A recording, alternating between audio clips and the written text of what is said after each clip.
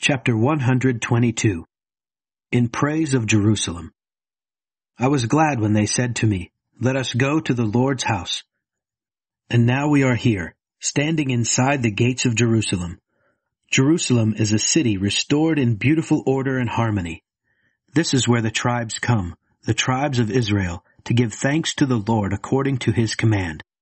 Here the kings of Israel sat to judge their people. Pray for the peace of Jerusalem. May those who love you prosper. May there be peace inside your walls and safety in your palaces.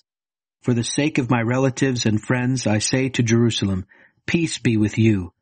For the sake of the house of the Lord our God, I pray for your prosperity.